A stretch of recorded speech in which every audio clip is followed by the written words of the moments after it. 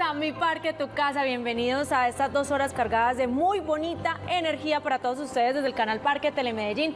Soy Manuela Esteves y junto a mis compañeros vamos a estar dándoles la mejor información, las mejores sonrisas, los mejores ojitos para que usted pase estas dos horitas bien acompañado allí en su casa o en cualquier parte del mundo que esté. Chicos, bienvenidos, ¿cómo están? ¿Cómo Excelente, alegres, contentos, felices y dichosos de poder estar hoy compartiendo una vez más en Mi Parque, Tu Casa. Esta es la casa de todos, la casa de ustedes. Qué rico que nos puedan visitar, que se dejen entrevistar, que vean cómo es la magia de la televisión y si no pueden estar aquí, pues desde sus hogares también pueden compartir con nosotros, especialmente también si nos llaman. Juan Manu, pues con esa invitación de Juan Pablo, recordarles que el parque está abierto desde las 6 de la mañana hasta las 7 de la noche, que la idea es que vengan, disfruten con nosotros de este espacio.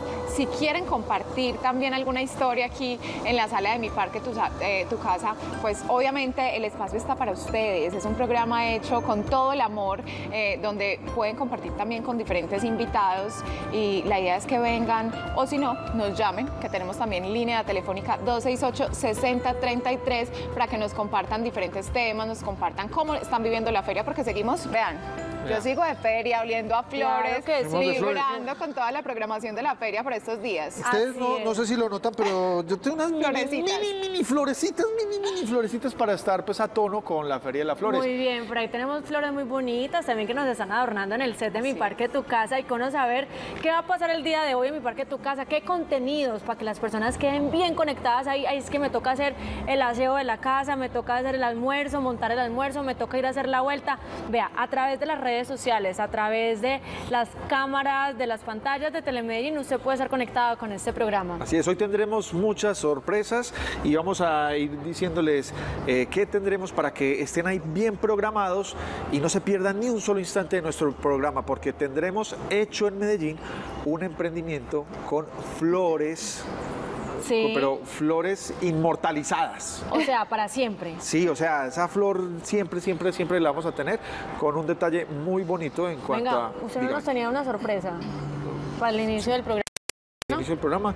Ah, pues que enseguida vamos con esa sorpresa ¿Ah, que tiene que ver con, el, con otro de los temas. Ah, sí, es que me da como sus chicos de sorpresas de Juan Pablo, así como de un momento a otro. No, creo que vamos en orden, o sea, el orden ah, es, primero tenemos como usted, flores inmortalizadas, ya van a ver de qué se trata. Perfecto. Pues, eh, tenemos también un tema que llama mucho la atención, porque por estos días hay muchas personas que siguen en sus casas muy quietecitos. Vamos a hablar del sedentarismo, qué pasa cuando de verdad, eh, pues estamos en la casa sin hacer nada, se nos olvida hacer ejercicio, salir a caminar.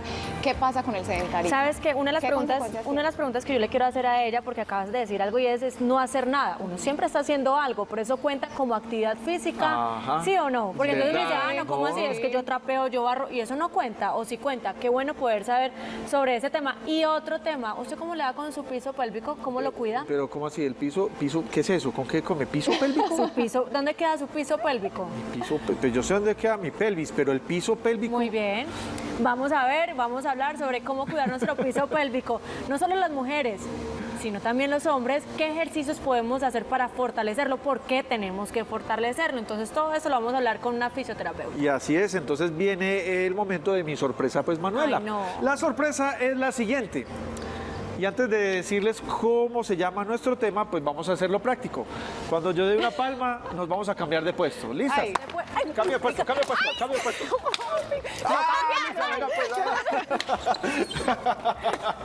Muy bien. O sea, escogieron la fácil, pues al ladito. Ah, no, yo no sé. yo no sé, yo, yo vi que Manuela Dina se paró y yo también pegué de una para allá. Por eso yo aplaudí, pero de una corrí pues al primero que Venga, que vamos quitando una silla, ¿o qué? Me gustó la actividad, me gustó la actividad y me activé Entonces y les voy a contar. Otra vez, otra vez. No, Manuel, no. Pero me tocó bien en el mismo. me gustó, me gustó este cambio. Por cierto, ya que me activé, que estaba como, es que está haciendo frito en Medellín esta mañana, vamos a hablar también de un tema que a mí me encanta, que es la teoría del apego.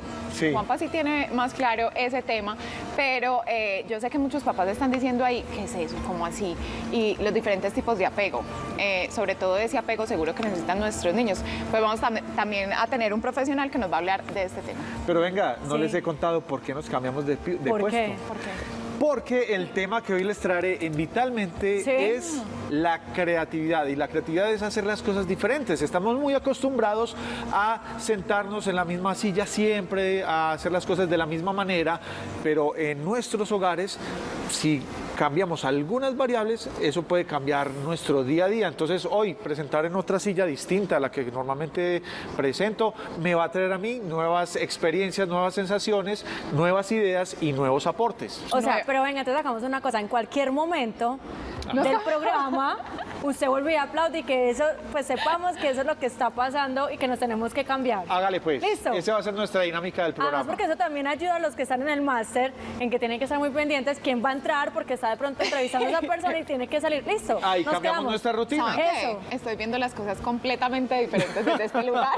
Estoy viendo todo el equipo. Otra perspectiva, otro punto de vista. Muy bien, chicos. Entonces, como dijimos al principio del programa, también seguimos conectados con la Feria de las Flores y precisamente un lugar que es eh, insignia de nosotros, que seguimos protegiendo, que seguimos valorando su trabajo porque ellos conservan la tradición y hace que nosotros estemos como ligados a eso, es Santa Elena, pero qué rico saber sobre el contexto. Entonces precisamente un habitante de allá, Julián, es la persona encargada de decirnos dónde queda, cuánto queda. Eh, que se respira en ese lugar. Entonces, precisamente aquí en mi Parque Tu Casa les tenemos la siguiente nota que viene siendo realizada de Tu Cuadra Me Cuadra, un programa que tenemos aquí en Telemedellín que se conecta también con los barrios y con las cuadras de nuestra ciudad y por supuesto de nuestros corregimientos. Y hoy precisamente tenemos a Santa Elena.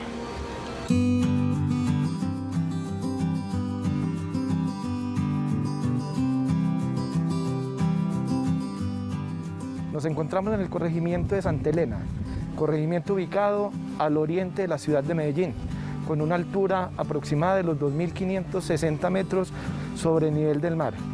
Un corregimiento lleno de cultura, de tradición, pero también de recursos naturales, ambientales y ecológicos muy importantes para la ciudad de Medellín y el Valle de la Urra.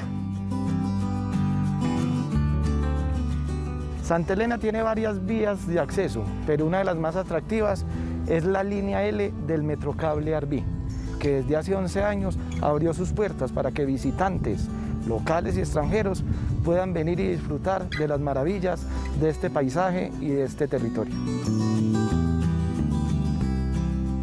Santa Elena como tal, política y administrativamente, eh, se fundó desde el año 1986, pero es un territorio que por más de 200 años está cargado de historia.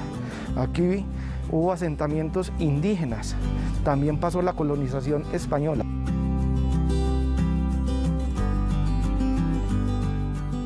En el corregimiento de Santa Elena, las personas que quieran venir, que quieran conocer esta experiencia, que quieran repetir la experiencia, puedan encontrar la única manifestación artística y cultural reconocida por el Ministerio de Cultura como patrimonio material de Antioquia, que es la cultura silletera, que por más de 63 años ha engalanado la ciudad de Medellín en el mes de agosto. Por su ubicación geográfica, Santa Elena es un territorio estratégico para el desarrollo de actividades turísticas, sumado a su potencial en temas de medio ambiente y de naturaleza. Los invito a todos para que vengan a mi tierra, Santa Elena, tierra de silleteros, tierra de grandes personas y tierra llena de riquezas artísticas, culturales y ambientales.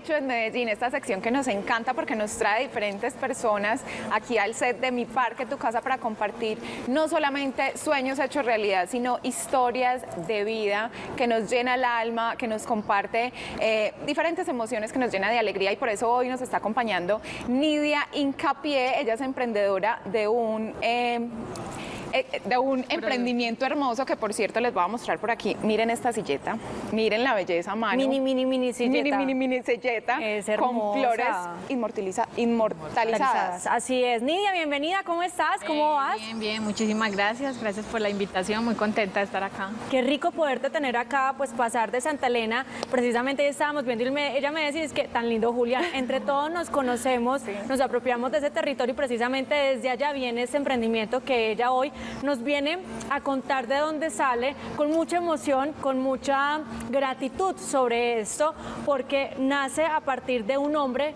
que para ella es su todo. Y eh, hoy precisamente quiero que me cuentes ese detrás de, de esta historia, de lo que ha pasado para llegar a este punto donde ustedes están. Ok, bueno. Eh, mira, Florece nace hace más o menos 15 años. 15. O sea, hace 15 Ok. años estamos en el desarrollo de marca, en el desarrollo de producto, en la creación. Estamos en, en un proceso, ¿cierto? Porque sabemos que crear empresa no es fácil, pero llevamos 15 años aprendiendo y eso es lo que nos hace como tan interesantes en el mercado.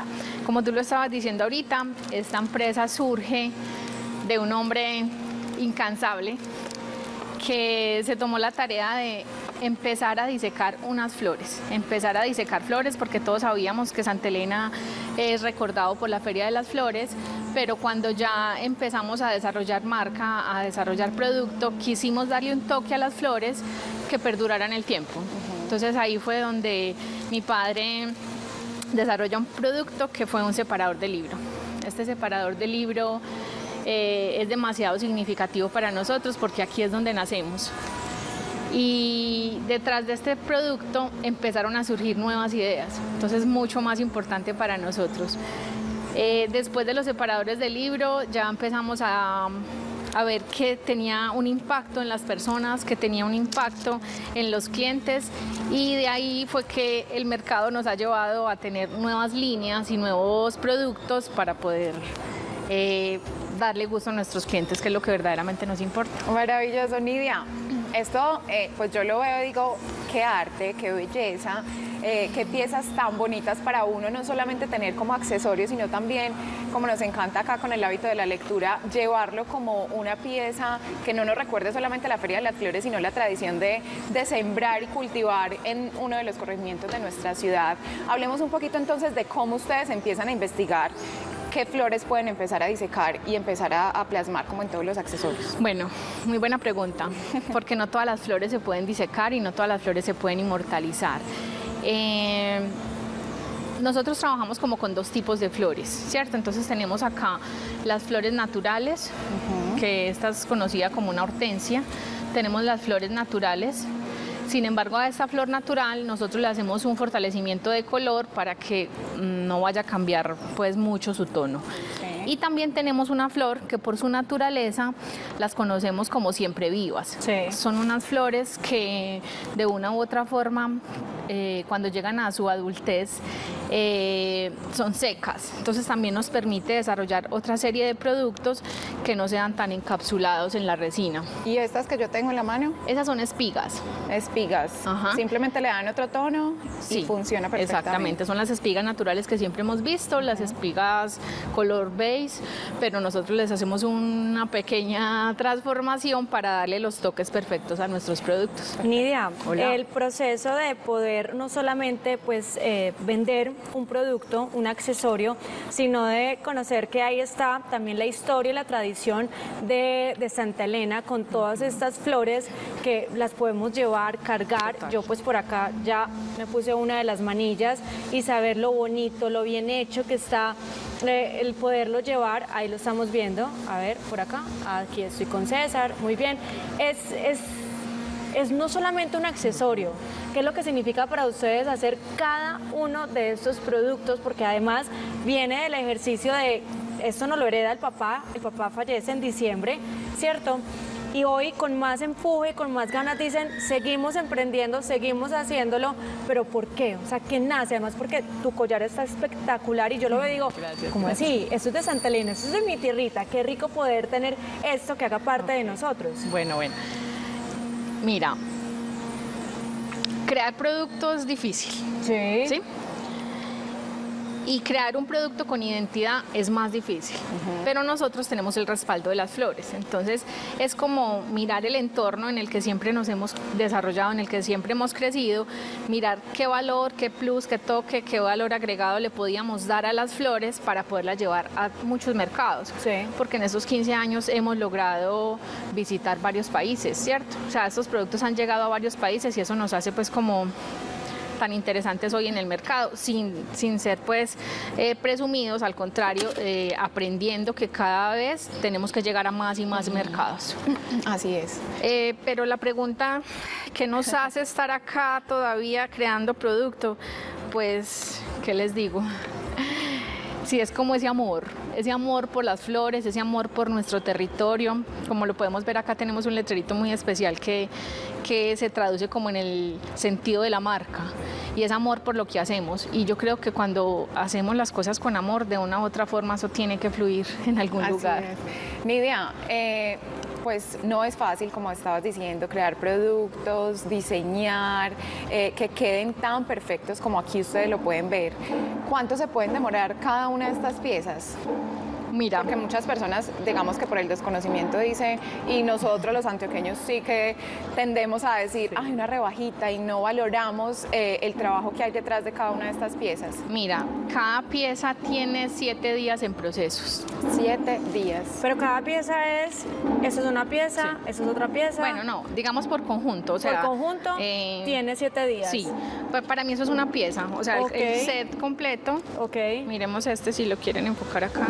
Sí. Eh, este set eh, como tal tiene siete días en proceso. Cuando empezamos a analizar desde que el floricultor eh, nos transforma, perdón, desde que el floricultor coge la flor, ¿cierto? Sí. Entonces, pues, y eso que habría que sumarle otro muy importante cuando el floricultor siembra la planta, ¿cierto? Sí, que Entonces hace parte empezamos, de. claro, hace parte del proceso.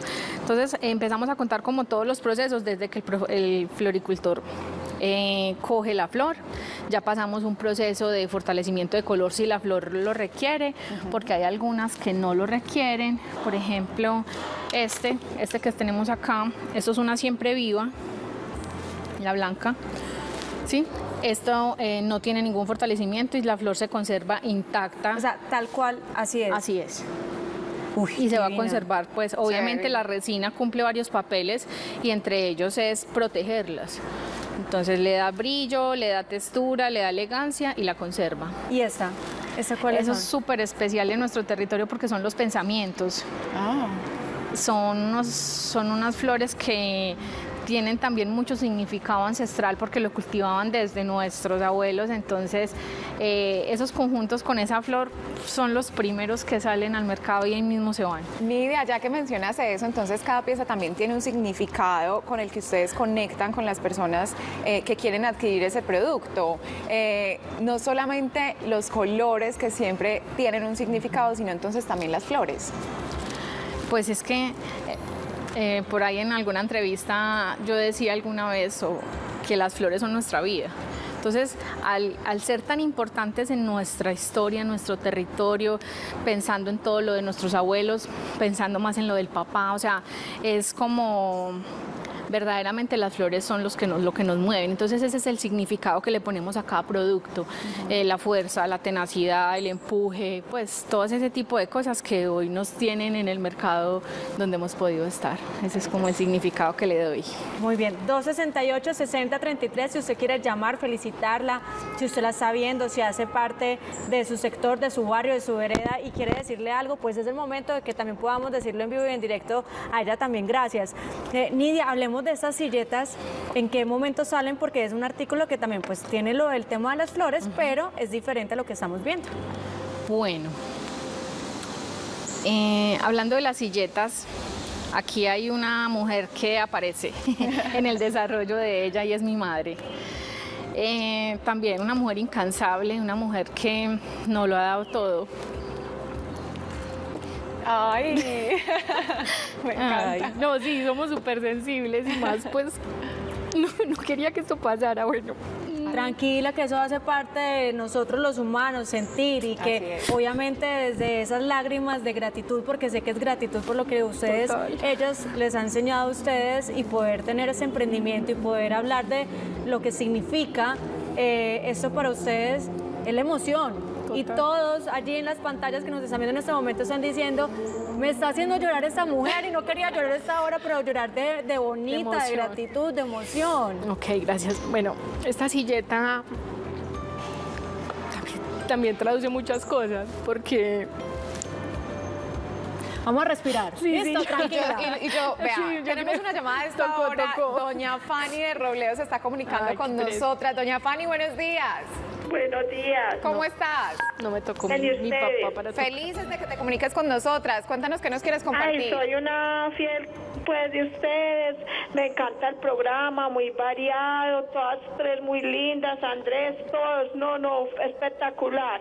Ojalá no se acabe el programa. No, señora, ¿cómo que se va a acabar? Esto apenas empieza con toda la actitud. Que no, que no nos lo vayan a quitar. No, señora, para nada, vea, yo peleo pues para que no nos lo vayan a quitar. Fanny, ¿qué es lo que más te gusta del programa? ¿Te ha gustado lo que el emprendimiento que tenemos hoy?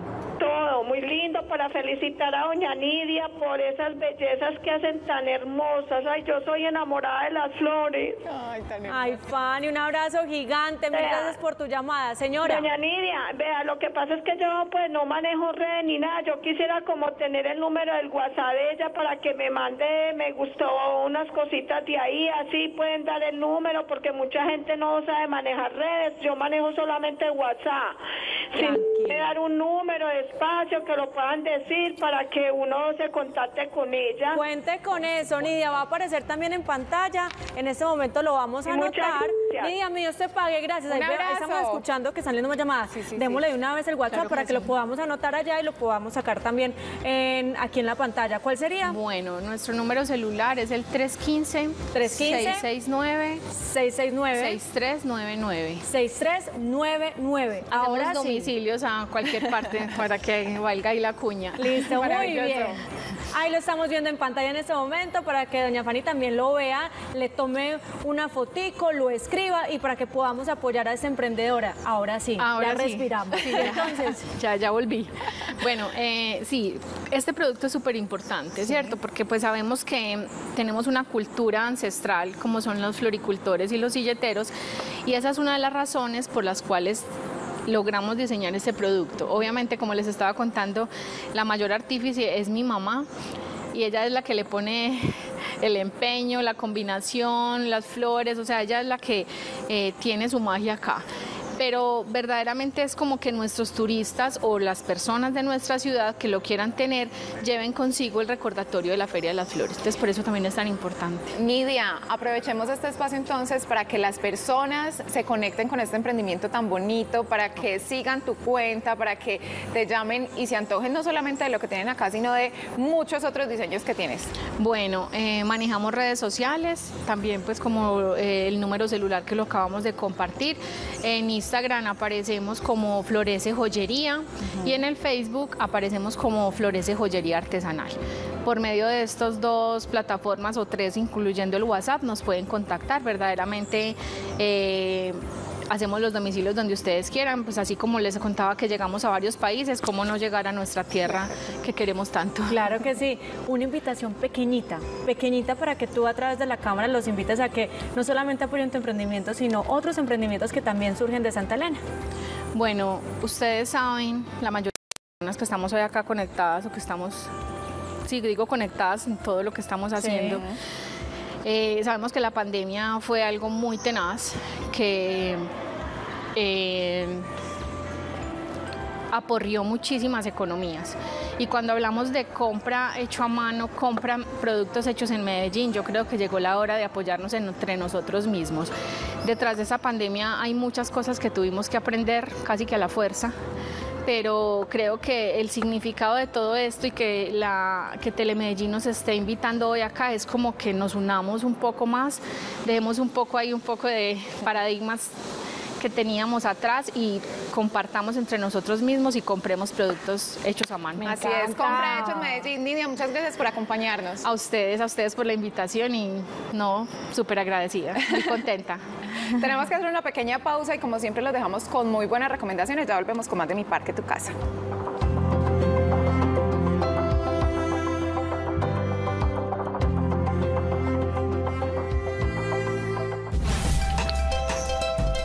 Estás viendo Mi Parque, Tu Casa.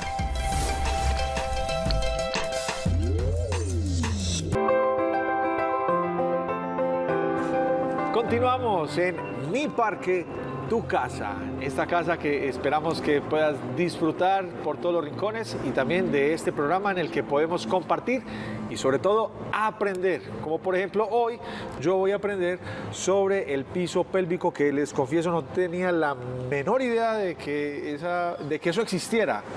Pero hoy, de la mano de Daniela Zapata, fisioterapeuta, especialista internacional en terapia pélvica, pues vamos a aprender.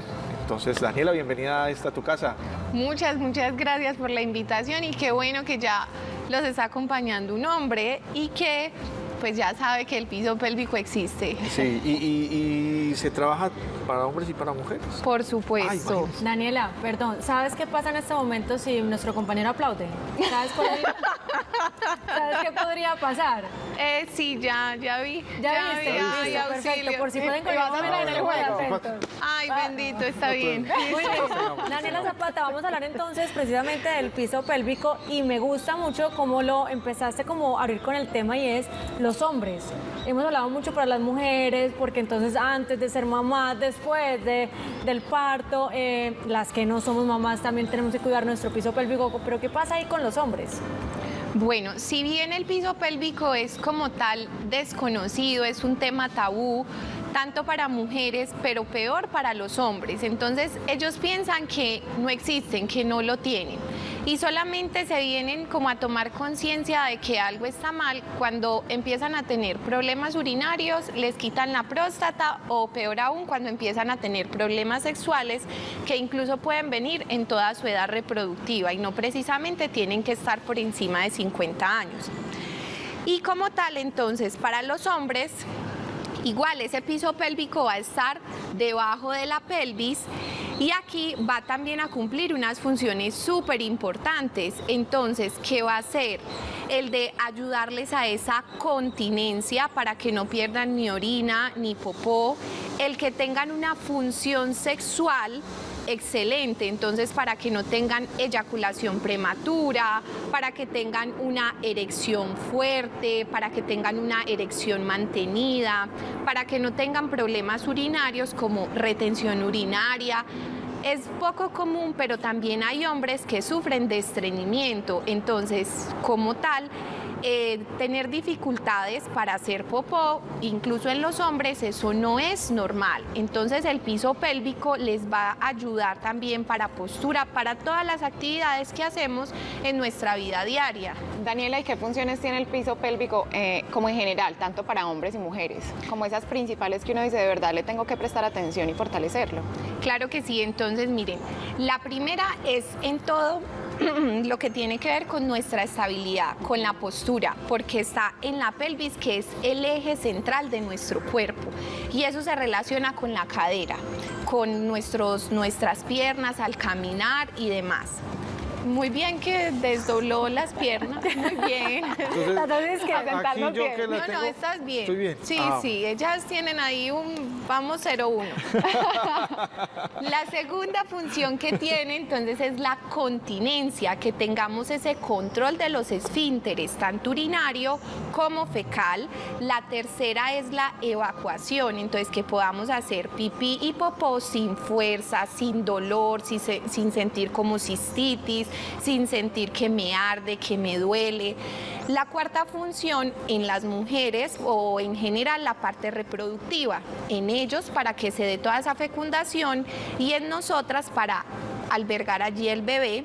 Y la otra de las funciones también, que es súper importante, es la parte sexual, en hombres y en mujeres. Entonces, cuidar de nuestro piso pélvico nos va a ayudar a ser independientes, a tener una excelente calidad de vida y a que sencillamente tengamos bienestar como personas, en, como tal con nuestra pareja. Por Dios, qué descuidado soy. O sea, cómo ignoraba todas estas cosas y la importancia de esa parte del cuerpo que le tenemos que prestar demasiada, demasiada atención. Y presten atención a lo siguiente. ¡Ay, no! Oigan, casi me caigo. Muy bien, muy bien. Muy bien, estuvieron en la jugada. Hoy fuimos un poquito más. como un sustito. No, yo, o sea, yo me vi en ese girasol allí metida. Pero bueno, ya que cambiamos de puesto, que tenemos mente ya en otra posición también, eh, la pregunta, Daniela, sería, ¿qué ejercicios entonces o qué posturas son las recomendadas para empezar a fortalecer el piso pélvico? Bueno, primero más que fortalecerlo es entrenarlo porque no solamente es fuerza, porque yo necesito saber dónde está, ¿cierto? Saber cómo se mueve, saber si se mueve igual cuando se contrae a cuando se relaja. Y uno de los principales problemas del suelo pélvico es que no se relaja completamente.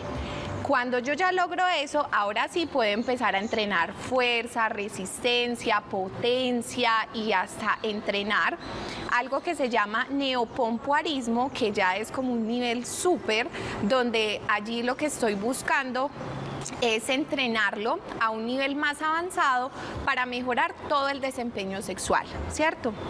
Entonces, ¿qué posturas, por ejemplo, nos ayudan a esa salud de nuestro suelo pélvico? La primera es que Luisa no es un claro ejemplo. no, no. volvió, a, volvió a caer. Sí, no, Dos, no. uno, cero. Entonces, Para las las mujeres. piernas cruzadas, lo ideal es que no nos mantengamos como tal de piernas cruzadas, porque eso hace que ese piso pélvico esté enroscado y que si tiene problemas para relajar, pues él va a estar peor así cerrado y pues nos va a causar más, más inconvenientes. ¿Y para qué lo necesitamos para relajar? Para que se abra. Cuando hacemos chichi, cuando hacemos popó, se tiene que abrir. Cuando sale el bebé, se tiene que abrir. Durante la respuesta sexual, pues se tiene que abrir, se tiene que relajar, incluso para que el pene se llene de sangre y se ponga erecto y para que logre entrar a todo ese canal vaginal.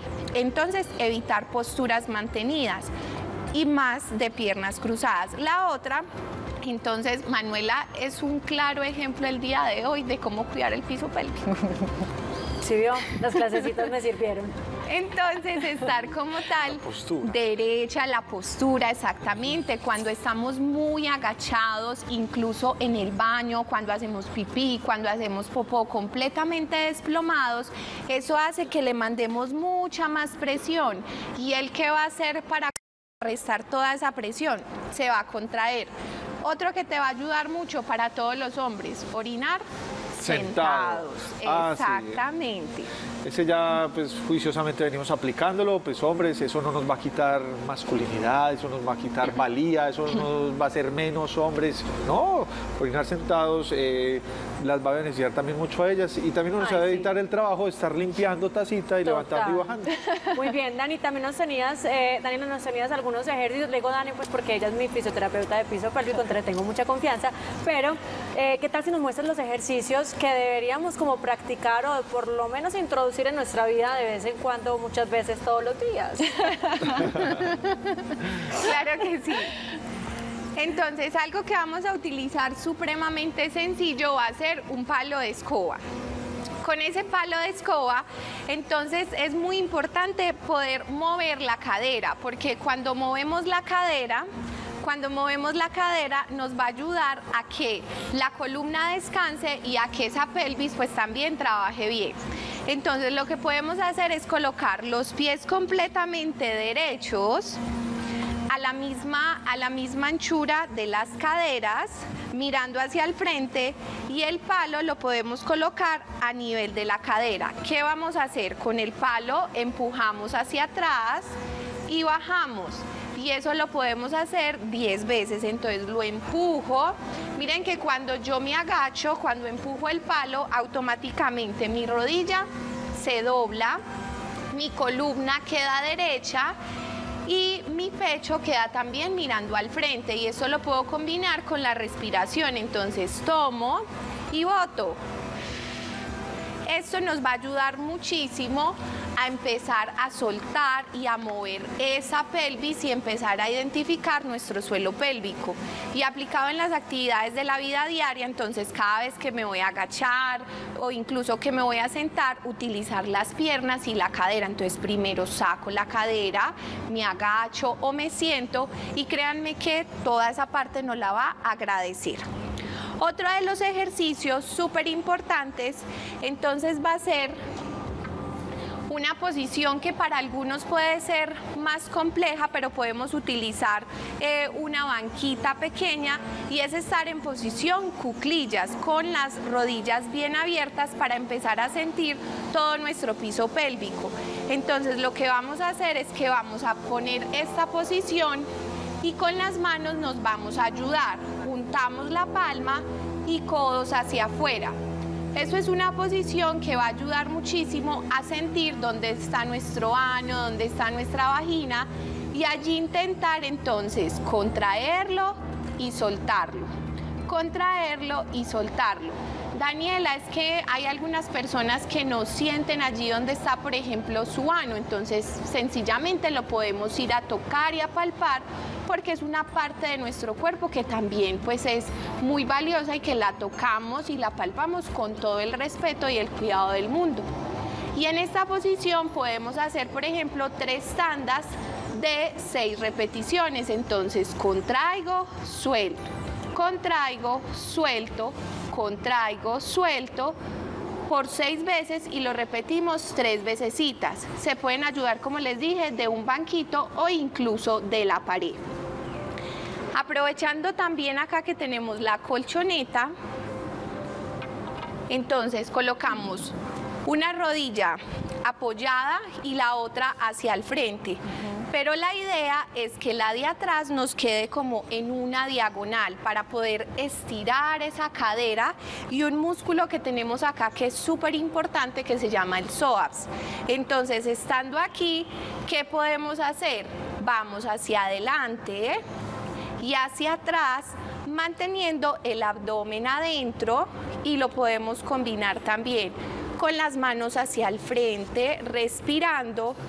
Y eso nos va a ayudar muchísimo, por ejemplo, a liberar la cadera, a despertar ese piso pélvico, a decirle al cerebro, hey, aquí estoy, y que lo podamos comenzar a entrenar incluso en esta posición, lo mismo, contraigo, suelto, se va a sentir extraño, contraigo, suelto. Daniela, si alguno de estos ejercicios duele, ¿qué hay que hacer? Bueno, lo primero es que hay que identificar qué tipo de dolor es. Porque puede ser un dolor que yo sienta que me está estirando, eh, es un dolor que yo siento que estoy trabajando. Allí lo que hago es hacerlo en un rango menor que yo soporte como tal ese, esa molestia. Pero ya cuando es un dolor un poco más eh, intenso, entonces hacerlo Primero, muy cortico para que no duela y si aún continúa doliendo, pues sencillamente habría que cambiarlo y lo ideal sería consultar para verificar qué está pasando en toda esta zona. Muy bien, eh, Daniela, ese mensaje final para las personas, además porque el piso pélvico no solamente se tiene que hablar para eh, personas adultas, sino que también tú ayudas con todo el proceso de los niños, ¿cierto? Entonces, eh, ¿cuál es la invitación a ese autocuidado y por supuesto tus redes sociales, esa línea de contacto, como nos decía ahorita nuestra televidente Fanny, pongan el número porque es que yo utilizo WhatsApp y no utilizo Instagram, entonces claro que sí, danos por favor esa invitación y tus redes sociales y el WhatsApp. Claro que sí, entonces la invitación final es que desde niños estemos pendientes de esos hábitos miccionales, defecatorios de nuestros hijos, ¿cierto? Que empecemos a mostrarles también ese conocimiento de qué es nuestro cuerpo, de así como es importante cepillarnos los dientes, lavarnos eh, las manos, en fin, también es muy importante la salud pélvica. Entonces vamos creando tabú que son innecesarios y que podemos cortar.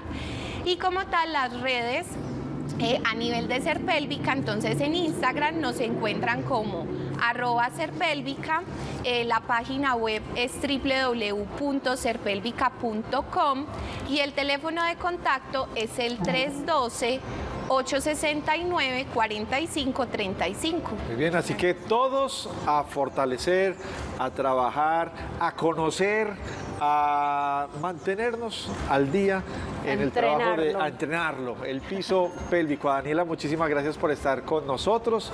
Espero que nos sigas acompañando porque pues, siempre hay algo nuevo por aprender. Hoy he aprendido bastante y espero que ustedes también lo hayan hecho. Pero seguiremos disfrutando con más sorpresas aquí en Mi Parque Tu Casa después de estos mensajes institucionales que pasan rapidito.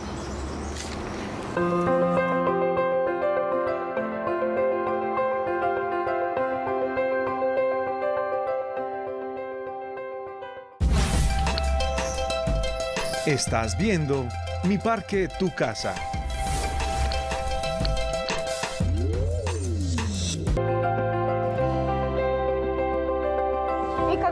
Más de Mi Parque, Tu Casa y por aquí tengo una invitada muy especial porque nos encanta cuando nos llaman eh, estando en directo y tienen un regalito que algún invitado profesional nos deja acá para todos los televidentes y por eso nos está acompañando hoy Leticia Hernández, ella viene desde Envigado y ella llamó ayer para ganarse este libro, El dinero está en la mente. Doña Leticia, buenos días, ¿cómo estás? Muy bien, gloria a Dios y a María Santísima. Feliz porque vino a recoger su regalito. Totalmente feliz por estar en compañía de todos ustedes. Ay, qué rico. ¿Y, y todos los días está conectada con mi parque? Tu todos casa? los días estoy conectada con mi parque en su casa.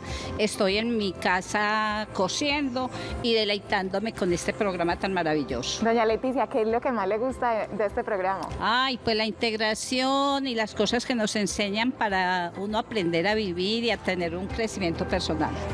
Algo que se le haya quedado de todos estos días conectada con mi parque, tu casa, que usted diga, esto me ha cambiado la vida. Ay, a mover los besitos.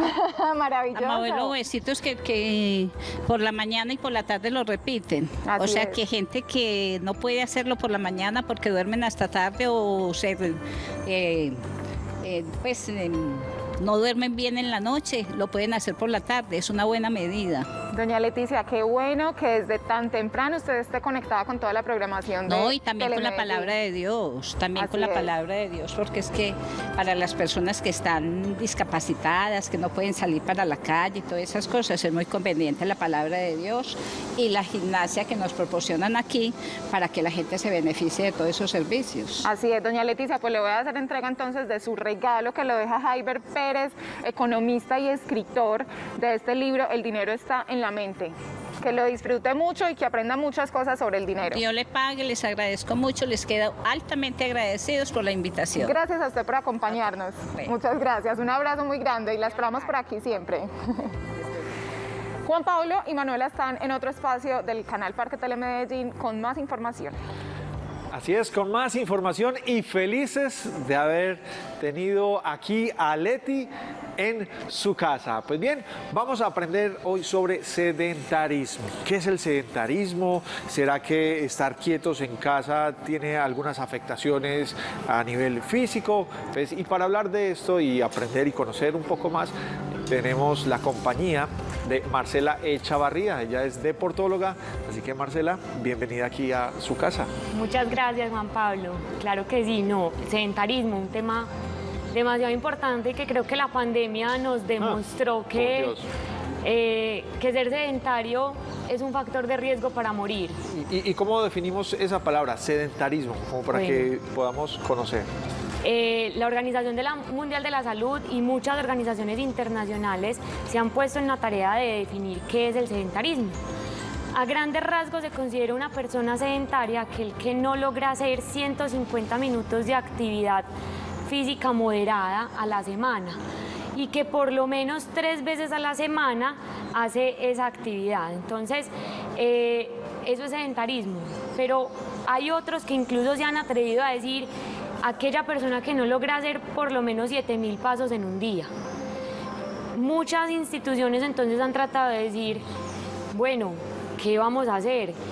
Quién es sedentario, porque entonces si todo el día se la pasa en el computador, pero hace una hora de ejercicio al día ya no es sedentario. Resulta que sí es sedentario ¿Ah, porque sí? no está cumpliendo con ese número de pasos mínimos al día. O sea, hay que cumplir con las dos. Hacer el ejercicio. Ah, no, no, no, no, pero entonces estoy preocupada porque yo te hago la hora bien juiciosa, los 60 minutos de ejercicio intenso, con pesas, pero el resto del día, o estamos aquí en mi parque, pues mira que estamos de alguna forma sentados, pero después estamos en el computador y si acaso nos paramos pues al baño. Entonces, ¿ahí qué pasa? Claro, Manu, mira, esa hora es solo el 4% del día. Entonces, ¿el resto del día qué? Nuestros músculos, cuando hablamos del metabolismo, el famoso metabolismo que las abuelitas y que las mujeres le tenemos tanto miedo, el secreto del metabolismo está en los músculos. Si los músculos son físicamente activos, va a ser un metabolismo activo, o sea, vamos a tener un metabolismo rápido. Y ahí es donde está el por qué el sedentarismo termina siendo una condición para pensar en que puede ser enfermedad. Oh, por Dios. Y si esto llega a ser una enfermedad, ¿qué causas y qué manifestaciones tiene a nivel físico?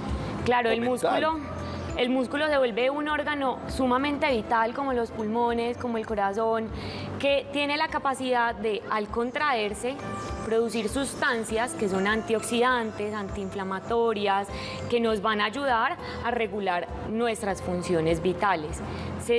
Sabemos y nos dimos cuenta ahora con la pandemia COVID-19 que las personas que son sedentarias, o más bien que muchas de las personas que terminaron con enfermedad grave en unidad de cuidados intensivos o que incluso fallecieron, tenían un factor común y era que eran sedentarias. Lo que nos hace pensar que ser sedentario nos hace estar todo el tiempo inflamados por dentro. Ok, a ver, doctora, entonces, ¿cuál sería el escenario eh, que podríamos tener nosotros para no decir, porque como le acabo de entender, entonces yo puedo estar entrando en esa población o esa comuna, comunidad eh, de, de sedentarismo? Entonces, ¿qué es lo que debería hacer para que obviamente salga al otro punto con los 7000 pasos, con la hora de ejercicio? ¿Cómo sería lo ideal?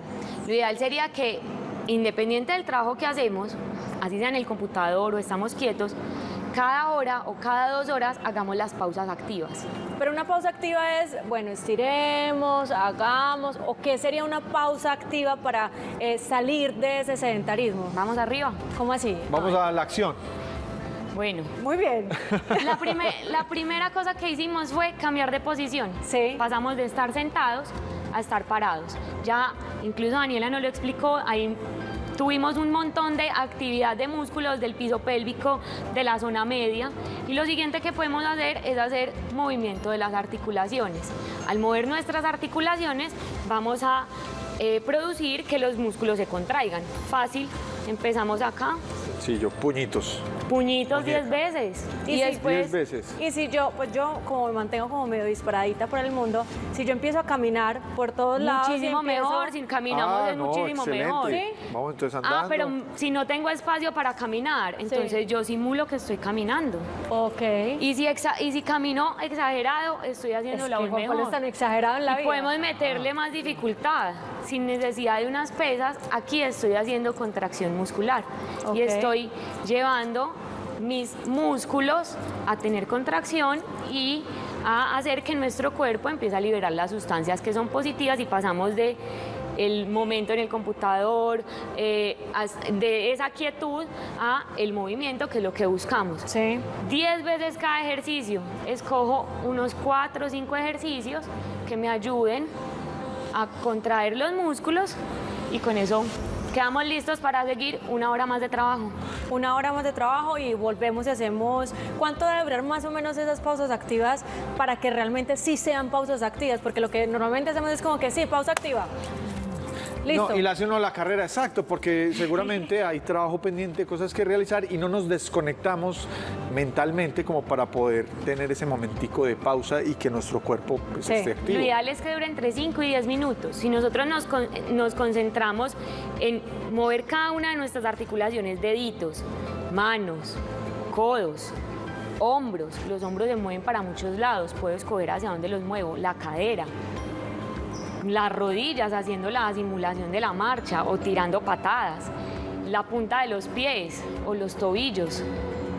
Muy bien. Si hago todo eso 10 veces, Sí. cada uno, ahí, y lo hago a conciencia, se nos fueron más o menos 5 minutos. Una pregunta, ¿qué pasa si yo no le presto atención a esto? Es que yo no tengo tiempo porque tengo mucho trabajo, porque tengo los niños en la casa, porque además eh, tengo que irle a responder al jefe, pero mi mamá me está llamando, pero entonces, pero, pero, pero, pero, pero, entonces dejo eso para después. ¿Qué pasa ahí? Entramos en ese grupo de sedentarismo Sí. y ya se sabe que el sedentarismo es la cuar- el cuarto factor de riesgo cardio eh, de mortalidad por cualquier causa.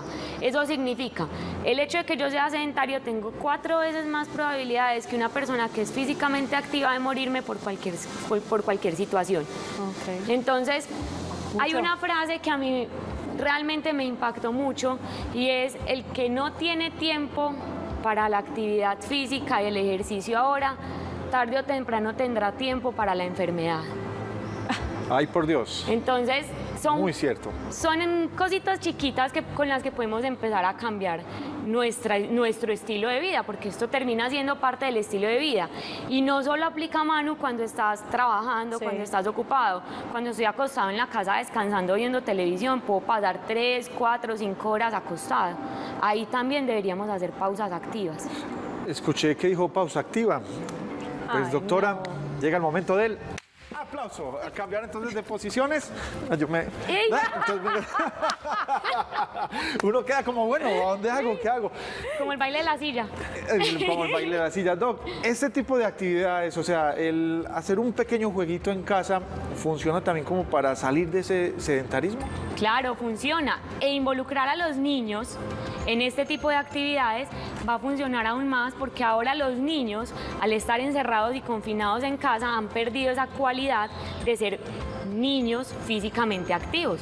Los niños requieren no 30 minutos al día, ellos necesitan 60 minutos al día de actividad vigorosa, porque la condición propia de los niños es moverse. Entonces, hacer pausas que involucren jueguitos, como tú lo dices, es una estrategia excelente y, e involucrar a todos los miembros de la familia. Mentalmente, o sea, hemos hablado como de las consecuencias a nivel físico, Sí. pero la mente, pues uno por decir, decirlo, se puede atrofiar, puede pasar algo con nuestro cerebro si no damos esos espacios de actividad física. Así es, y sabes que el ejercicio tiene una capacidad hermosa en el cerebro y además, primero la parte motriz, estimulamos la, la capacidad motriz del movimiento, entonces es- vamos a fortalecer o entrenar esa parte del cerebro que se encarga del movimiento. Además, cuando hacemos ejercicio, que ahorita vamos a explicar qué es ejercicio, porque también no sea Sí. como qué es eso. Cuando hacemos actividad física y ejercicio, nuestro cerebro empieza a liberar unas sustancias que producen felicidad, sensación de placer, que mi autoestima mejore, yo me siento mejor conmigo mismo, yo me quiero más a mí mismo, entonces no solamente va a ser la, eh, la mejoría de la parte del cerebro motriz, sino que también va a ser la mejoría del cerebro emocional. Entonces, moverse sí tiene beneficios en el cerebro. Y aquí va a la definición de qué es ejercicio. Sí. Y que es actividad física. ¿Qué es actividad física y qué es deporte? Es lo mismo. Pues uno se atrevería a decir como que, pues sí, porque el deporte implica actividad física e implica ejercitarse. Además, uno los utiliza hasta como sinónimos cuando está hablando de eso. Exactamente, pero. ¿cuáles son entonces las diferencias, Doc? Entonces, actividad física es cualquier contracción que genere los músculos, cualquier movimiento que se genere a partir de los músculos. Aquí conversando, Barrer, trapear, parados, sacudir. barrer, trapear, levantar las bolsas de mercado, Ok. manejar, montar bicicleta como medio de transporte, Sí. es actividad, Actividad física. Subir escaleras, todo lo que implique física. que mis músculos se tengan que contraer, contraer de alguna u otra manera.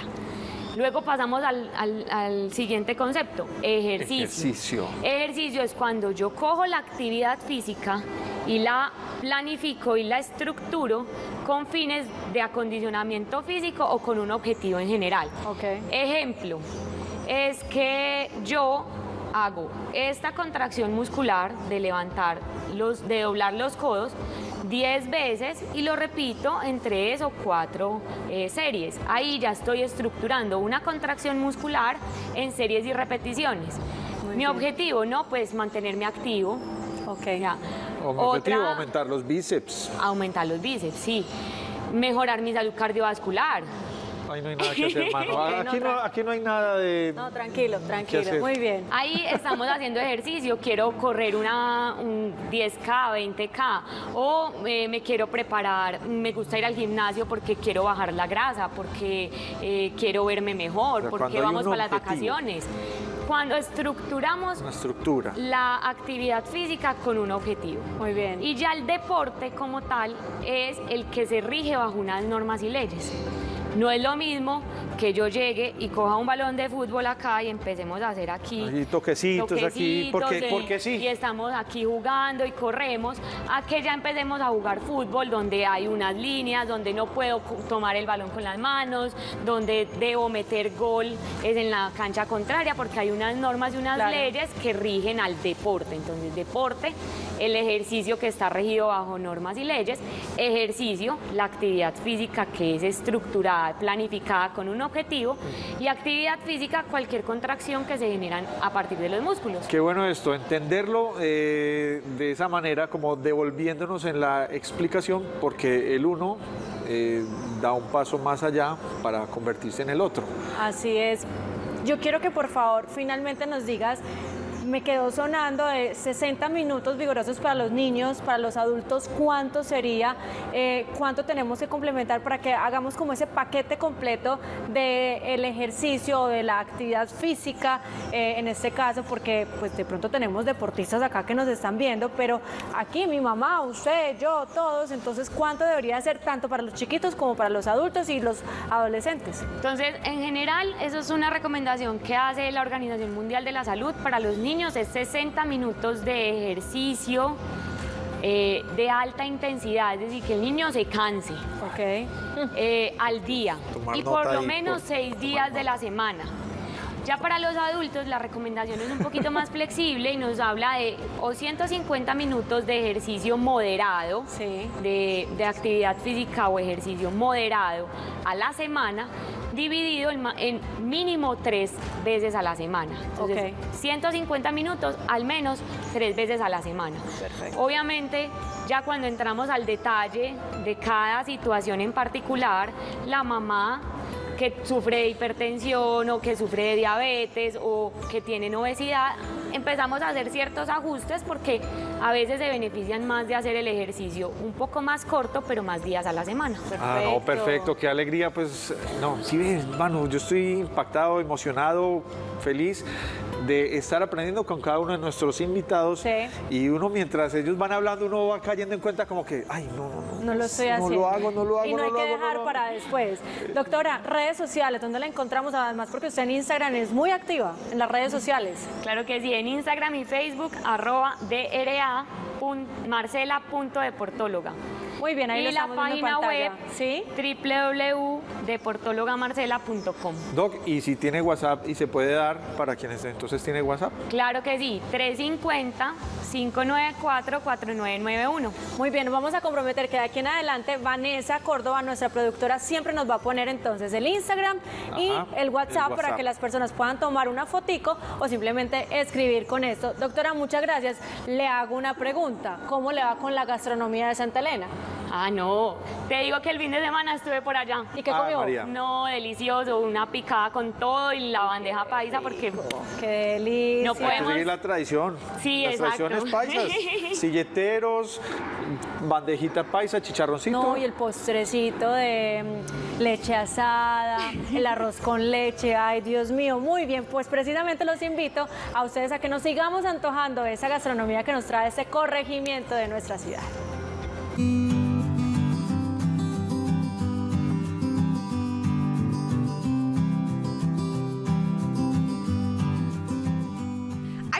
Que van de la tierra al plato. Esa es la cotidianidad de la gastronomía del corregimiento de Santa Elena, que es muy variada y lo mejor, muy fresca. Yo le trabajo acá a un tío, él cultiva todo lo que ven acá, que es la fresa, los chubas, la mora, el frijol, el tomate, la papa, la zanahoria, zucchini, lechugas, también siembra brócoli, mmm, coliflor y me siento muy orgullosa de, de, de vivir aquí en Santa Elena. Ya no les digo más. Además de la agricultura, también hay bebidas representativas del sector como el vino de Mortiño y esta, que es llamada sabajón. Está hecho a base de vainilla, leche condensada, algo de licor y es hecho acá en Santa Elena, es artesanal. Las empanadas y otras comidas típicas también son muy importantes y muy vendidas en Santa Elena. Y obviamente no podíamos dejar de lado para finalizar el delicioso postrecito. Un arequipe artesanal hecho en leña. Y hacemos el miguelucho, hacemos el arequipe café, arequipe de mora y arequipe de maracuyá. Todo hecho en leña, muy especial como lo pueden ver acá. Santa Elena, además de flores, tiene gente muy trabajadora que día a día recibe a cientos de visitantes para que disfruten de sus productos y de su naturaleza.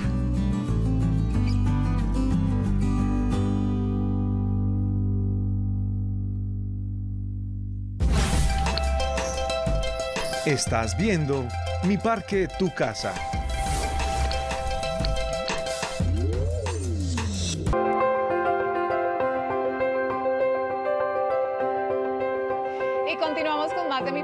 Casa y hoy con esta sección que a mí me encanta para regalar herramientas a todos esos padres, cuidadores y a todas las personas que están cercanas a los chiquitines, crianza positiva. Y hoy precisamente se va a desarrollar un tema que a mí me gusta mucho y que muchas personas, digamos que si no lo han leído, pues poco lo entiende, que es todo el tema de la teoría del apego y por eso estoy con una persona que me complace muchísimo, muchísimo tenerla aquí en el set de Mi Parque Tu Casa. Él es Carlos Santiago Cano Ro- Rodas, que es director de formación y familia ASPA en Medellín. ¿Cómo estás, Santiago? Qué rico Bien, tenerte Luisa. en este espacio. Muy feliz de estar aquí contigo y con toda la audiencia. Desde ¿Cómo va hace todo? mucho te sigo, desde hace mucho eh, leo tus posts y definitivamente eres un papá muy comprometido con todo este tema de, de crianza positiva, crianza consciente. Sí, sí, por lo menos me comprometió con el estudio del tema.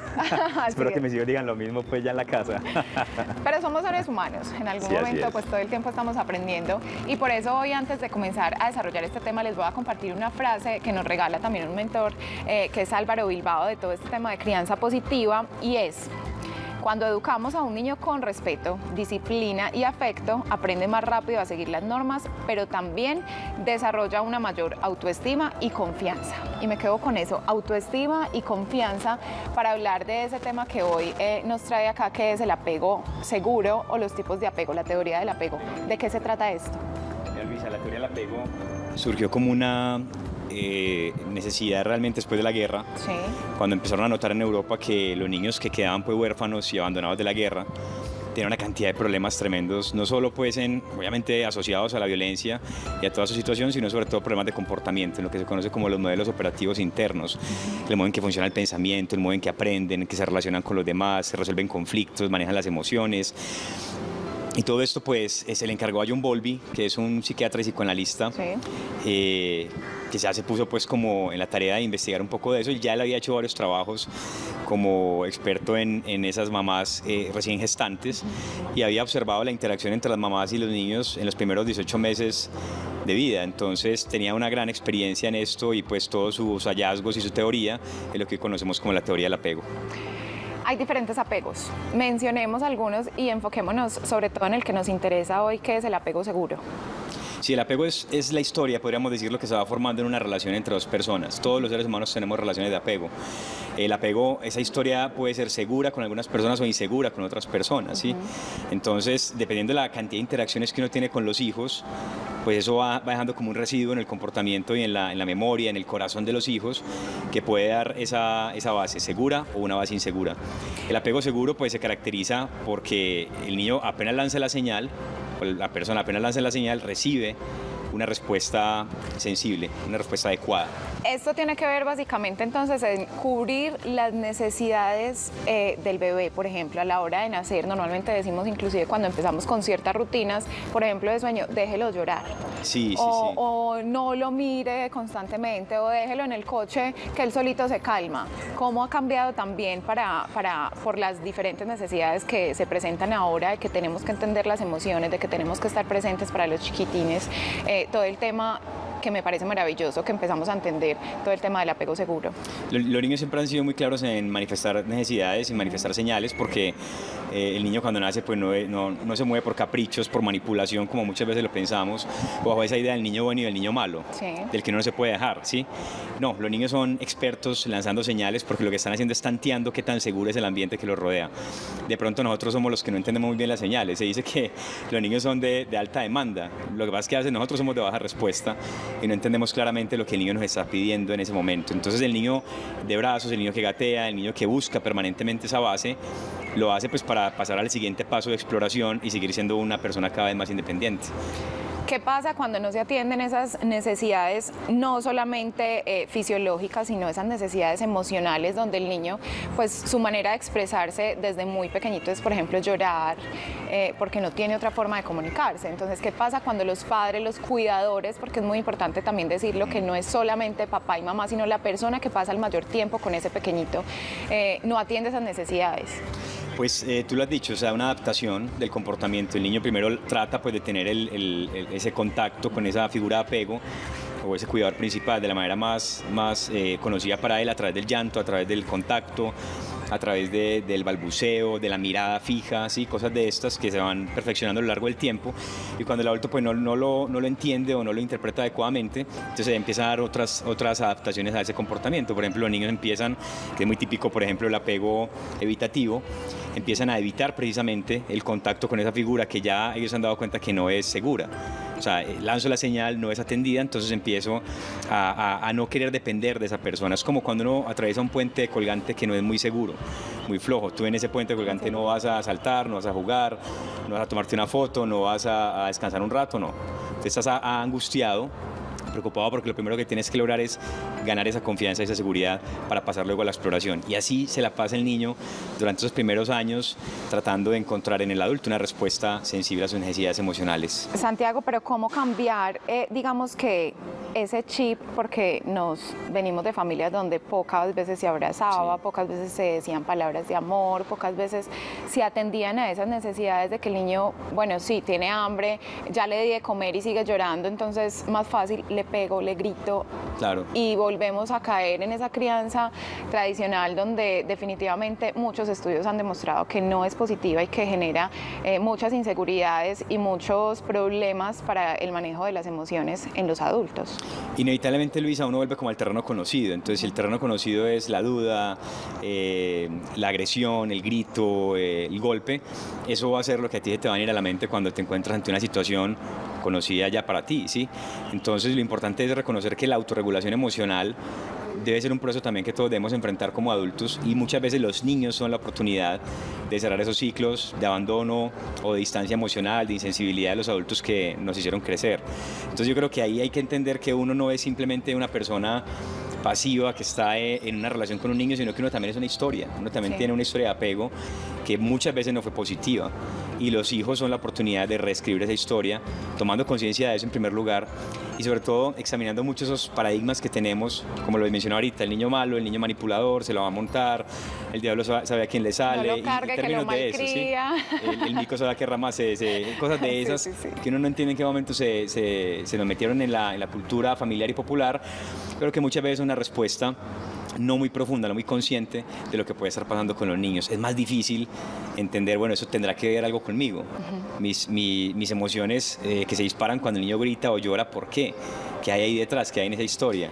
Eso es lo interesante de esa teoría. La importancia de autorregularnos, primero nosotros como adultos, sanar lo que tengamos que sanar para poder acompañar también a, ese pequeñito y enseñarle también a, digamos que a manejar cada emoción que aquí normalmente estamos compartiendo, que es muy importante tanto sentir alegría como sentir tristeza, porque de eso se trata la vida. Me encontré una frase que se las quiero compartir porque me pareció muy fuerte y tiene que ver mucho con este tema y es, el niño que no sea abrazado por su tribu, cuando sea adulto, quemará la aldea para sentir calor. ¿Qué te dice a ti esta frase? Tremendo, eso yo diría que es como muy relacionado con un último estilo de apego que encontró Volvi el equipo y es el apego desorganizado, donde muchas veces ya no hay una, una esperanza y eso empieza a tener unos, unos efectos no solo en el comportamiento, sino también en toda la neuropsicología, en el neurodesarrollo del niño el niño empieza a tener una afectación grave porque recordemos que en esa etapa primera del desarrollo, el niño forma las conexiones eh, eh, de la realidad, eh, monta esos modelos operativos de trabajo, empieza a entender cómo funciona el mundo y cuando el niño no tiene esa base segura, pues muy posiblemente va a tener dificultades a lo largo de la vida en la relación con la realidad, con el otro. ¿Cómo podemos empezar a cambiar entonces, eh, digamos, esa relación, ese vínculo con los niños desde el momento cero hasta esos, digamos, primeros siete años que son tan importantes en la crianza? Yo diría que todos tenemos una tarea muy importante y es volver a la serenidad como a ralentizar un poquito el ritmo de vida que tenemos, porque es distinto cuando tú vas afanada, tienes que ir al trabajo, tienes que salir a una hora fija y el niño está en, plena señal eh, clara de que necesita ser abrazado, ser cargado. A veces vamos muy rápido y los niños van a otro ritmo, entonces qué bueno sería poder como ubicarnos un poco, lograr sintonía emocional y en el tiempo con los niños, ponernos a su nivel como siempre nos lo han dicho en la comunicación, no es solamente agacharse y verlo a los ojos, sino también tratar de ver el mundo como lo ven ellos, manejar otros ritmos, tratar de guardar el celular, tener tiempos eh, salvados en la casa para que sea el diálogo, para que sea el juego, para tirarnos en el piso con ellos. Eso genera una conexión que en momentos de crisis le va a ayudar al niño a comprender que estás ahí para él, que estás disponible, a pesar de que tengas poco tiempo, porque la realidad es que no siempre tenemos tiempo de calidad y en cantidad para estar con los niños, pero cuando ya se ha logrado esa relación, esa interacción de confianza, el niño podrá entender y podrá él luego eh, hacer, hacer su parte para que la relación realmente sea, sea nutritiva. Entonces yo creo que la serenidad, la calma, entender que el niño es distinto a ti, eso es fundamental. A veces pensamos que las cosas nos van a salir muy bien porque tenemos la mejor de las intenciones y no hemos leído tres o cuatro libros, pero lo importante es conocer ese niño. Ese niño es el que tiene las respuestas a esas necesidades tuyas. El niño sigue siendo niño y nosotros tenemos que aprender entonces, como tú decías, a, encontrar ese momento de paz porque vivimos en un agite diario que es ahí cuando, eh, digamos que entramos en el grito, en el desespero y no es culpa del niño, sino de nosotros, cómo nos estemos autorregulando. Santiago, ese mensaje final eh, para esas personas que quieren hacer ese apego seguro con sus hijos porque han encontrado eh, que es muy positivo para todo el desarrollo neuropsicológico que tienen pues los niños.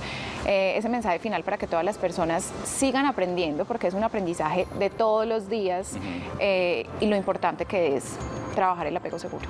Yo diría que cada día cuenta y cada interacción tiene un efecto. Así es verdad, eso pasa con las interacciones negativas, con los gritos, con los golpes que quizás hemos propinado al niño, eso genera un daño, pero también genera algo muy positivo, la, la mirada, la conexión emocional, el escucharlos, el hablarles, el reírse con ellos, hacerles cosquillas, compartir con ellos, entonces cada día cuenta.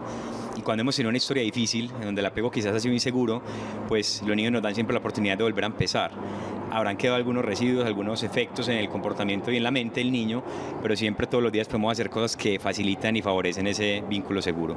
Este tema es muy amplio, se nos acaba el tiempo. Yo quiero aprovechar eh, para que tú le compartas a todos los televidentes de mi parque, tu casa, tus redes sociales, donde pueden encontrar más información, sobre todo porque el apego seguro también tiene algo que son los límites, eh, acompañar también de manera eh, clara en ciertos momentos, no es dejarlos llorar, sino que hay cosas donde ellos van a llorar, pero si me tienen ahí explicándoles la situación, pues va a ser muy diferente a simplemente gritarlos y dejarlos llorar. Esas redes sociales donde te podemos encontrar. Bueno, me pueden encontrar en arroba familias que inspiran y en arroba alcázares. Ahí estamos para lo que puedan necesitar. Santiago, muchas gracias por estar en este espacio conmigo y por compartir todas esas herramientas aquí en mi parque, tu casa, sobre la crianza positiva. Eh, nosotros tenemos que hacer una pequeña pausa, pero ya viene Juan Pablo con su sección. Eh, no se despeguen porque va a estar muy interesante. Ya volvemos.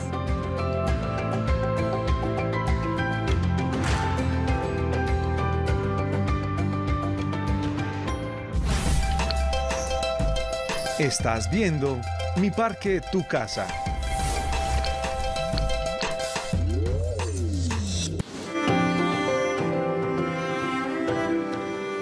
Y estamos ahora en Vitalmente, o Mente Vital, ahí jugando con las palabras para entrar en esta sección donde trabajaremos la creatividad, el ser, el pensamiento, con un invitado muy especial que hoy me acompaña y a quien aprecio y admiro, Manuel Arias, amigo del alma, compañero de colegio, universidad, de trabajo, gerente de Making Love y a quien le doy entonces la bienvenida a esta su casa. ¿Qué más, Manuel? ¿Cómo estás? Hola, Juanpa. Qué alegría y qué felicidad poder estar acá contigo y con todos los televidentes acá en Me- Telemedellín. Bien, hoy pues el tema lo hemos denominado creatividad a la carta, porque tú vas a presentar una serie de pautas donde las diferentes personas, sin importar la edad, pues pueden aplicar la creatividad eh, en su día a día. Vos sos una persona muy creativa, Marno, eh, siempre he considerado que eres muy teso y quisiera saber para ti qué es la creatividad. Bueno, para mí la creatividad es la, como la capacidad que tenemos todos los seres humanos de crear algo nuevo. Por eso se llama creatividad, ¿cierto? De crear algo nuevo que tiene un contenido valioso. Si no es nuevo, entonces es de mejorar eso que ya existe. Y la creatividad la debemos aplicar incluso en nuestro día a día. No es exclusivamente para las personas que trabajamos en las áreas creativas. Digamos que durante muchos años se ha dicho que las personas creativas son solo los músicos, los pintores, los bailarines, pero una ama de casa puede ser completamente creativa y yo siento que aquí en Colombia sí que son creativas. Y, Muy habilidosas. Exacto. Entonces, siempre hemos dejado, hemos dicho que la creatividad es exclusiva para un grupo muy selecto de seres humanos y no, la creatividad es un músculo y como músculo hay que ejercitarlo, hay que varola- valorarlo y hay que eh, entender de que todos los días podemos aumentar y potenciar esa capacidad que tenemos. Bueno, Manu, ¿y cómo hacemos entonces las personas eh, del común que no sabíamos que podemos ejercitar la creatividad? Hay una frase eh, que a mí me encanta y la quiero citar en estos momentos de Ken Robinson. Es decir, Ken Robinson decía que así como se aprende a leer, así se aprende sobre la creatividad. O sea, si aprendimos a leer, lo pudimos haber hecho a cualquier edad. a cualquier Exacto, momento. mira, y hay ejemplos enormes en el mundo de personas que eh, aplican la creatividad sin saberlo. Eh, Un, ejemplo es de los hermanos Mac Biker, que en- hace muchos años, en norteamericanos, ellos limpiaban alfombras con una masa un poco espesa y quitaban absolutamente todos lo- los granitos de, la, de, de- de suciedad de las alfombras. Y se dieron cuenta de que esta masa era un poco, eh, no pegajosa, pero se dejaba malear muy fácil. Y allí fue donde se imaginaron que esto podía ser genial para jugar, para los niños, y así nació la plastilina Play-Doh. No me digas. Entonces, todos los días en nuestro día a día podemos aplicar la creatividad y no lo sabemos. Eso tiene que ver con lo que llaman ideas disruptivas, pensamiento lateral, es no seguir como esa línea de la vía guía del pensamiento lógico. Esto puede sonar un poquito muy técnico, pero es muy fácil. Todos los días los seres humanos nos levantamos de un punto A para ir de un punto A a un punto B, porque mecánicamente lo hacemos. Pero ¿qué tal si hacemos lo contrario? no nos venimos por la misma ruta, creamos otra ruta distinta y dejamos de eh, oír y comenzamos a escuchar. Dejamos de ver y comenzamos a observar. En la naturaleza y a nuestro alrededor siempre van a haber elementos que son inspiradores y la inspiración nos lleva todos los días a ser creativos. Y la creatividad también, Juan Pablo, y, a todos ustedes les digo, nace de la necesidad. Y ese es el ejemplo, por ejemplo, más grande que tenemos con Airbnb. ¿Conoce la historia de Airbnb? No, contanos. es muy eh, sencillo. Airbnb son los que alquilan sus casas. Exactamente, a, viajeros. A viajeros. Y esto era un grupo de amigos que están en los Estados Unidos, no tenían con qué, eran artistas, eran diseñadores gráficos, no tenían con qué pagar el- eh, la renta de su apartamento, vivían en un muy buen lugar y comenzaron a inflar colchones, los metieron a una habitación y comenzaron a promocionar con carteles en los sitios turísticos que alquilaban su espacio. Por eso llama Airbnb, que es como eh, eh, cama inflada más eh, desayuno. Entonces comenzaron a, a preguntarse, ¿qué pasaría si? Esa es la pregunta inicial como en un proceso creativo. ¿Qué pasa si? ¿Qué pasaría si yo cambio esto, lo sustituyo, elimino esto, modifico, combino elementos eh, que son eh, justapuestos y comienzo a jugar con lo que veo a mi alrededor? Entonces allí fue cuando se dieron cuenta de que habían muchas personas que vivían en muy buenos sitios, que tenían casas súper lindas, súper súper cómodas, que podían rentar o todo su piso o habitaciones y ahora son millonarios. Entonces digamos que la creatividad está ahí a- a- a la- en la mesa nuestra servida para que todos los días crea- creamos cosas y creemos cosas maravillosas. Excelente, qué buenos ejemplos Manuel me estás presentando y nos estás poniendo porque pueden ser ideas locas, ideas que Así dicen, es. uy, alquilar un cuarto, alquilar eso, uy, la masita, la plastrina, pues y, y vemos esas dos grandes empresas hoy en día lo que son y lo que representan. Me desvío un poquito de, de la pregunta al poner el caso de Ken Robinson y, y ahora sí, mano, presentemos eh, esas pautas o esas herramientas que podemos tener las personas para cogerlas ahí de la carta y aplicarlas. Bueno, hay técnicas que son muy, digamos, como industriales, eh, que son, por ejemplo, la lluvia de ideas. Cuando estoy en un grupo de trabajo y se nos presenta un problema, el problema en el mundo creativo no es como en el mundo real, ¿no? El problema es como ese reto a solucionar. Entonces, la lluvia de ideas nos ayuda a generar eh, propuestas eh, creativas dentro de un grupo. Pues está la técnica Scamper, que son una habilidad de hacernos siete preguntas muy sencillas que aquí las tengo, que se las voy a decir. Sustituir, ¿qué pasaría si, si sustituimos este elemento por este otro?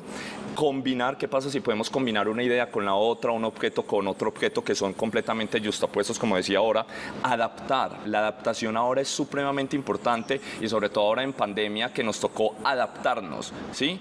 No nos reinventamos, simplemente nos adaptamos a una condición totalmente distinta y voy a, a hacer una cuñita acá. La pandemia trajo sus cosas muy buenas y es que comenzamos a ver, gracias a las redes sociales, que la gente se esmeraba por ser creativos para divertirse dentro de sus casas.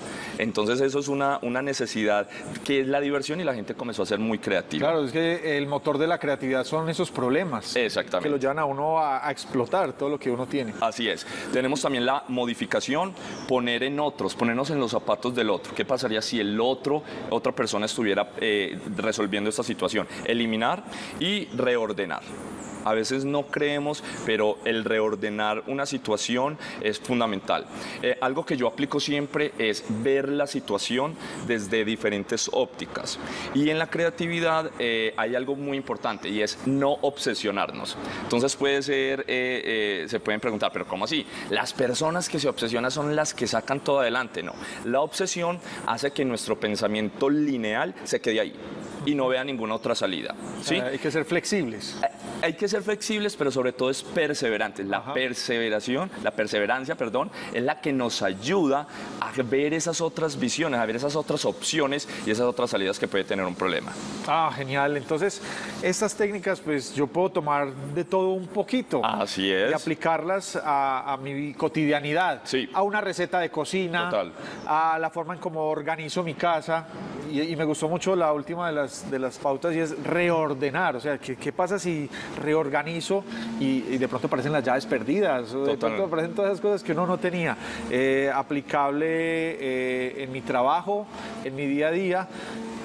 ¿Cuántas experiencias no podrán surgir si normalmente cojo la misma ruta de bus, si cambio de bus?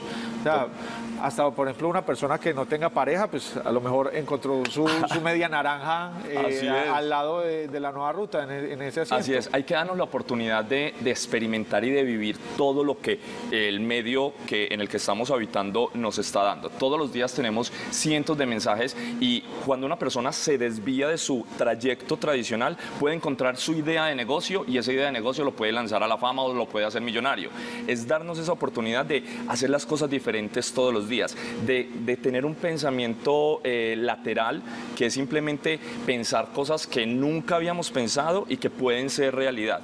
Es irnos más allá de lo, de lo lógico, de lo que normalmente eh, la sociedad y, y- y la gente nos ha dicho que es. Eh, Qué bien, excelente Manuel. Y pues hablando entonces de ir más allá, a mí me gustan mucho los juegos, jugar. Eso me- ¿Tienes alguna propuesta entonces para que la Tengo, apliquemos? tengo un acertijo.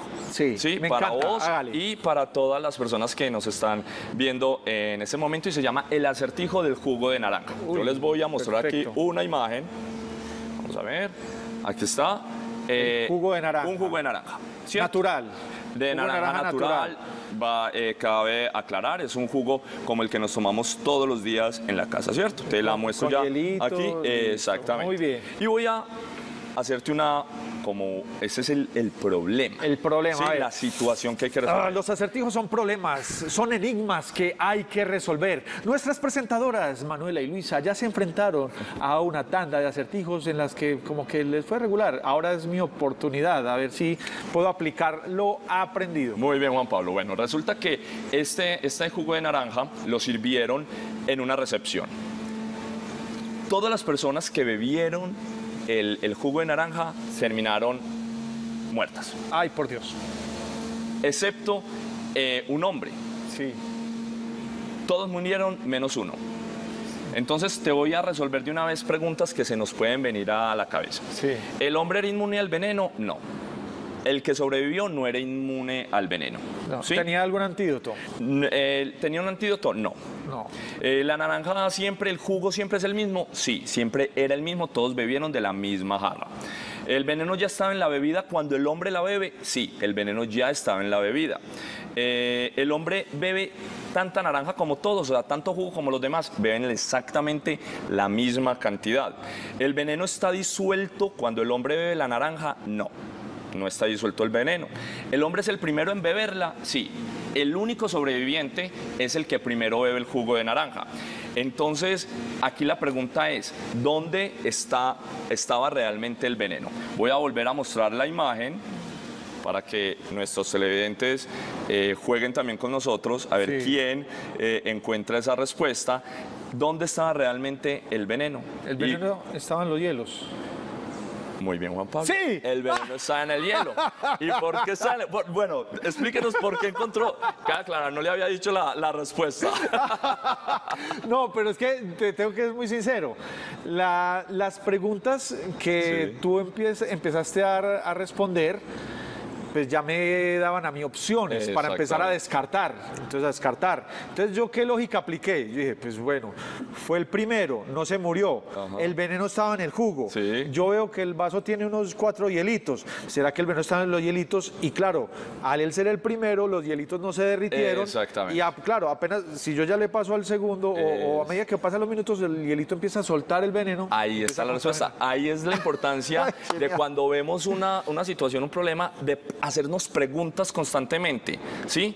¿Y qué pasa si esto y esto otro? Entonces así vamos eliminando eh, como opciones que se pueden, eh, o respuestas que pueden ser no correctas hasta llegar a la respuesta. Muy bien, Juan Pablo. El veneno efectivamente estaba en el hielo y la explicación que diste, esa es la correcta. Eh, María, genial. Pero, mano, si tú no hubieras dicho las preguntas que hiciste, yo hubiera arrancado de una preguntar. Bueno, la persona era inmune al veneno, eh, fue el primero que se lo tomó, y una serie donde tus respuestas pues me van orientando a mí a resolver el problema. Y hay algo muy particular con los acertijos y es que hay, un momen- hay momentos en donde uno intenta resolver y la cabeza le empieza a uno a doler.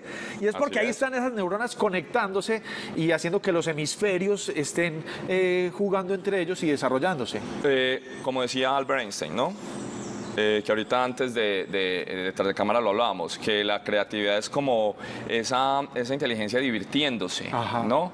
Y eso es lo que tenemos que hacer. Yo siento que ante cualquier situación, ante cualquier problema, lo que tenemos que hacer es no ahogarnos en el vaso de agua, sino salirnos y, y- y ver las cosas desde una manera distinta, ver las posibilidades que nos puede traer ese, ese reto como tal. Excelente, qué bien Manuel. Y bueno, hablemos ya para finalizar esta entrevista, ¿qué es Making Lab?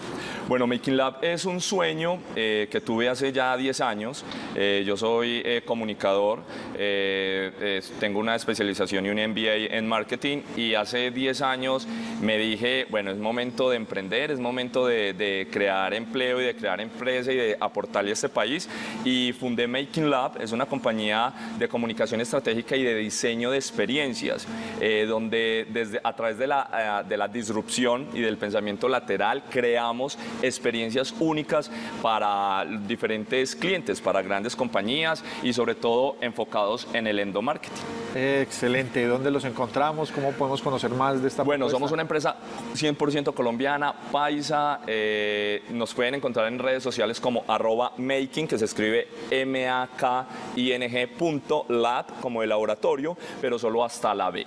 Allí nos pueden ubicar a, a nosotros y estamos abiertos. Cualquier idea que quieran, bacano resolverla juntos. Excelente. Pues Manuel, esta es tu casa. Muchas gracias. Qué alegría tenerte de nuevo aquí con nosotros porque eres una persona que tiene demasiado, demasiado como para aportarnos y ayudarnos a crecer. Hoy fue la creatividad, mañana puede ser algún otro tema Para eso estamos. de los que manejas. Pues bien, es momento de ir con otra de nuestras secciones, esta vez a la carta. Viene con una rica y deliciosa receta, también donde se aplica mucho la creatividad en esta preparación que es la torta Red Velvet.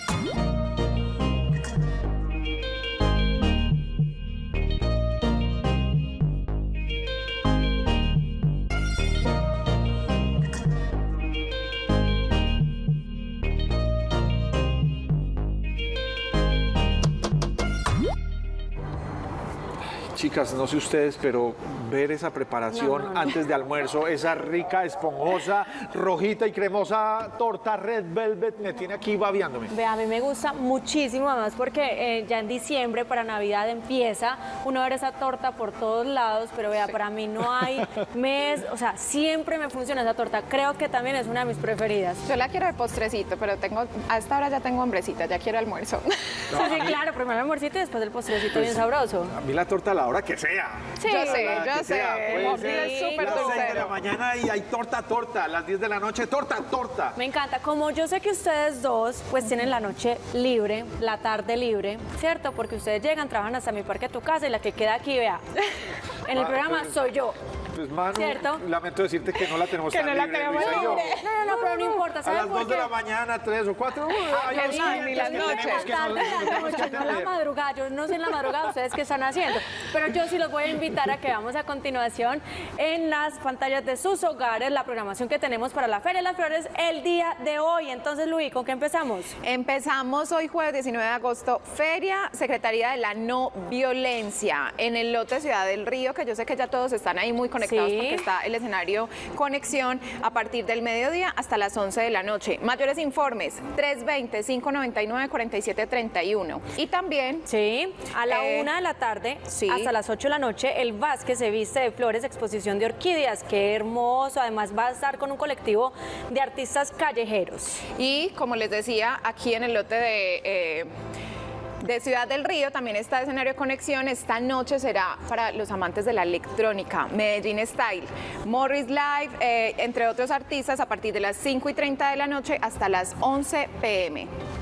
Hasta las 11 pm. Entonces, el escenario que queda aquí cerca de Ciudad Río es el Sí. escenario Colombia. Exacto. Y el ese. conexión El que queda conexión queda en muy la bien. Plaza Gra- Plaza Gardel. Gardel, correcto. en Sí, en la Plaza La Gardel. Muchas Gracias, gracias a. Daniel, también nuestro coordinador, muy pendiente ahí de la información que nosotros estamos transmitiendo.